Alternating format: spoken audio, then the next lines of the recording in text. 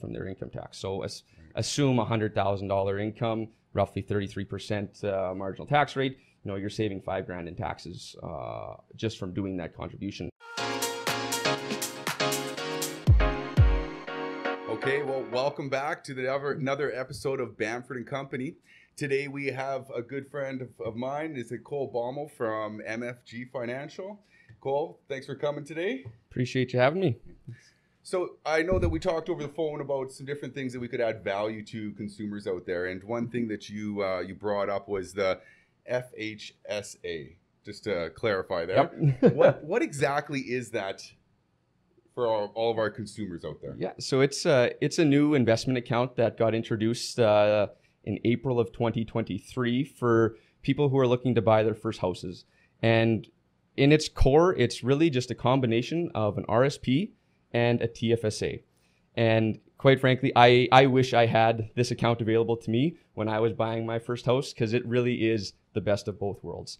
On contributions to the FHSA, you get a tax deduction, like as if you were to do it for an RSP. But the big difference is that on withdrawals for a qualifying home, your first house, they are tax free and you do not have to repay them back if compared to the home buyer's plan if you were to withdraw money from your RSP to buy your first house, right? So it's a combination of the RSP and the TFSA where quite frankly you get the both best characteristics of both of those accounts in one simple package. Sounds amazing. It's it's, Yeah. it's unbelievable, yeah. so with this is that I know that there are some different things about how much you can contribute to on a yearly basis. Can you can you clarify a little bit on that? Just because sure. I know everybody's um, you know purchasing power out there is a little bit different, Mm-hmm. Yep. and this might put it in perspective for the average consumer. Yep. So, on a, I'll start with how you uh, accumulate contribution room. So, you have to open the account to start generating or accumulating that contribution room. And for every calendar year that you have it opened, you get eight thousand dollars of contribution room, up to a maximum of forty thousand dollars. So five years essentially. Right. On a yearly basis, you can contribute up to sixteen thousand dollars in one calendar year. Simply, you can carry forward one year of unused contribution room. So if you opened it in 2024, the maximum you could do would be 8,000. If you didn't contribute anything in 2024 and carried over to 2025, the maximum you could do in 2025 would be 16,000. Fast forward even further and you get into 2026 and say you haven't done anything yet and now your total contribution room is 24,000, the maximum you can do there is only 16,000. So you can only ever carry forward one year of unused contribution room in that calendar year. So there's a little bit of finessing and playing and strategizing for when and how much to contribute to the FHSA, which is again very case dependent and, and, and client specific. But there are ways that you can best utilize the account depending on your situation. Right. Well, that's where you come in. That's that's Right. exactly where we're supposed to come there. in. Yeah, Yeah, exactly. That's Like, awesome. for for example, you know, I I've been fortunate enough that you know a lot of my friends and a lot of my clients um, have been buying their first houses this year, and each one has been a little bit different with uh, with how we've gone it uh, about it, and and the strategy behind each one is always a little bit nuanced to, to each uh, client and friend, right? So we work with the client and figure, okay, when are you trying to buy your house? Do we need to be contributing now, or can we wait until you know I've got an offer in on a place, or I'm seriously considering buying a place to then contribute, right? Because Right. the biggest thing that we're trying to do is to provide flexibility for our clients, right? Because we understand that life happens, right? You don't want to put money into the FHSA just for the sake of putting it in there and then all of a sudden your car breaks down or or a trip of a lifetime comes about where you want to go and and and go on a trip with your friends and family or whatever it might be right? So we want to be able to provide that flexibility still and not locking away money um, into the FH, FHSA so it's all about timing uh, and you know when are you seriously looking to buy this house? Or are you just kind of tippy toeing around and, and getting feelers out there? Or are you actively looking? Do you have an offer in place? Do you have an offer accepted? Okay we need to get our uh, wheels turning to get For things uh, to get things moving properly Okay. So then, when you're saying is that it's kind of a timing basis, you know, so Mm-hmm. the biggest thing is to get it started, correct? yes And then is that you get that grace period, maybe of that of that extra, you know, if you miss that calendar year, is to get that 16,000. Mm-hmm. That makes a big difference for somebody, you know, even when you look at the average home as a starting home, like for single family, we're probably looking at 400 and Mhm. 450 just to get into you know a decent neighborhood. Doesn't mean it's the best house, Mhm, by yeah. any means. Um, but that is getting you in that ballpark. So if you started it out with maybe that eight thousand dollar contribution, you plan to buy in the next one to three years, you could potentially not have to pay taxes on any of that money. Is that correct?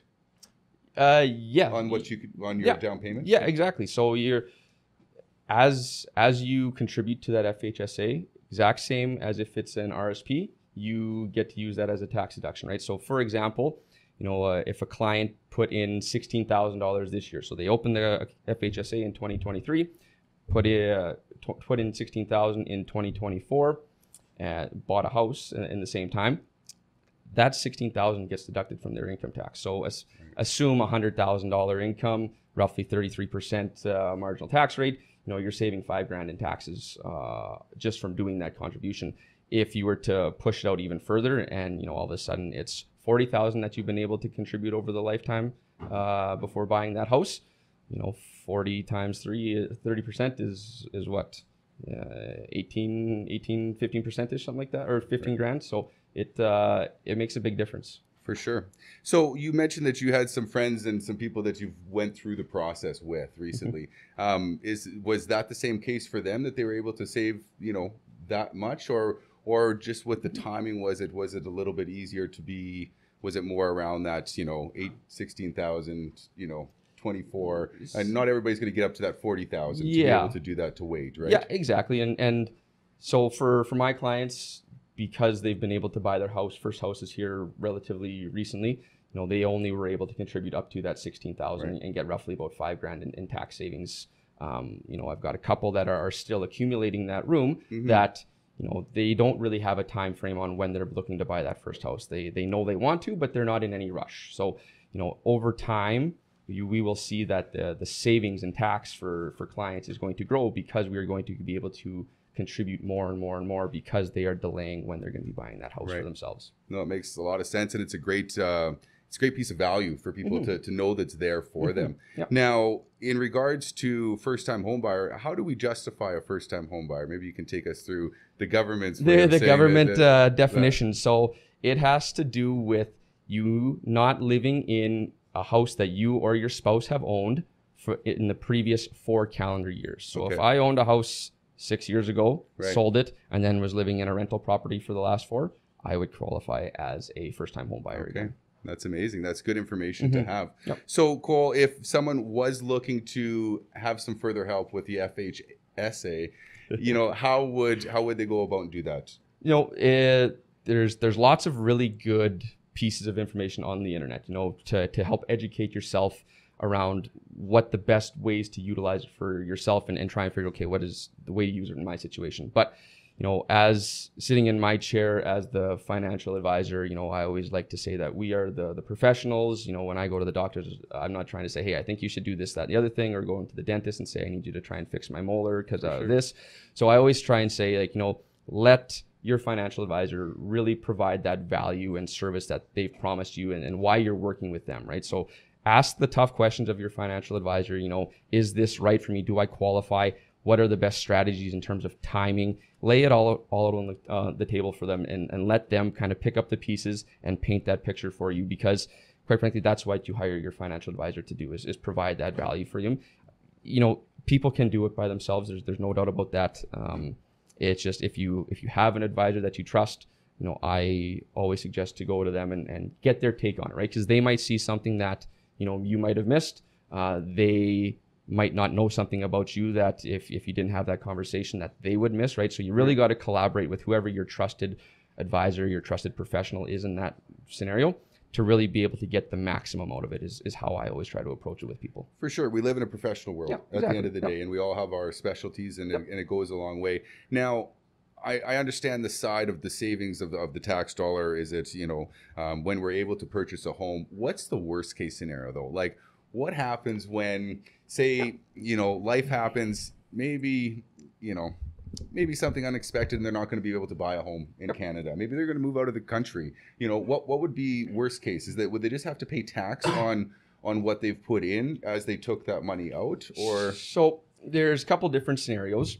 If if life happens where I need money now, but it's not for a first time home or a, a qualifying withdrawal, it simply acts as if it's an RSP where the money you pull out, you would be taxed at, right? So it quite frankly, assuming that you're pulling out at the same tax bracket that you put the money into, it's a, a net zero effect, really. You're not gaining anything in that regard. And you're not really penalizing, but you're not using the account to its full potential. So that's if you need the money for a non-qualifying withdrawal. But if for whatever reason, you know, you you've gone 10, 15 years, um, and it's just like, you know what, home ownership isn't in the cards for me, and or because of whatever reason it might Mhm. be, there are ways that you can transfer it. You can transfer it to your RSP, essentially, Okay. is the easiest way, right? So instead of just sitting in the FHSA, it can transfer over to your RSP. You don't get a, an RSP tax deduction because you've already gotten that from contributing to the FHSA. Right. There's no penalties in that regard. It just acts as a, a an in-kind transfer basically. So the client, the investor, isn't penalized for not buying a first home, right? That that's not the intent of of the the cutoff period of the FHSA. Right.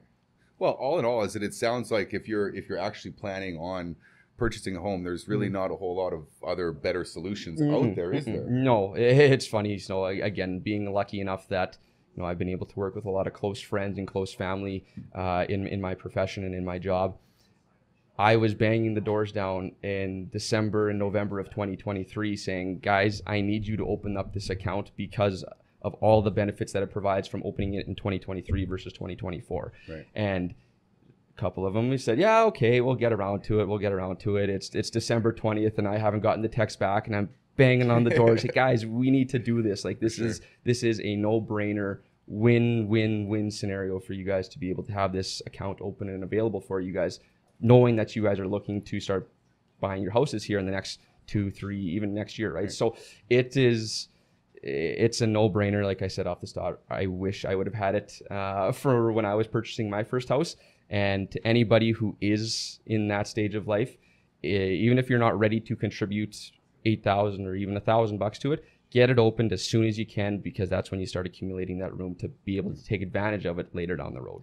Well, that's good. Is that not every financial planner is knocking down people's doors and sending that many texts? Yeah. that's good. That, I- that's good that you got that. I was throwing acorns at a guy's window, getting him to come down. He was uh, he was working nights and everything, and he wasn't answering my phone calls, so I was having to throw acorns at his window, waking him up, sort of thing. So it was uh, it was pretty good, uh, pretty good story that I like to tell every once in a while. Well, so. that's good. You know, going the extra mile. trying say, to, yeah. trying to, yeah, exactly.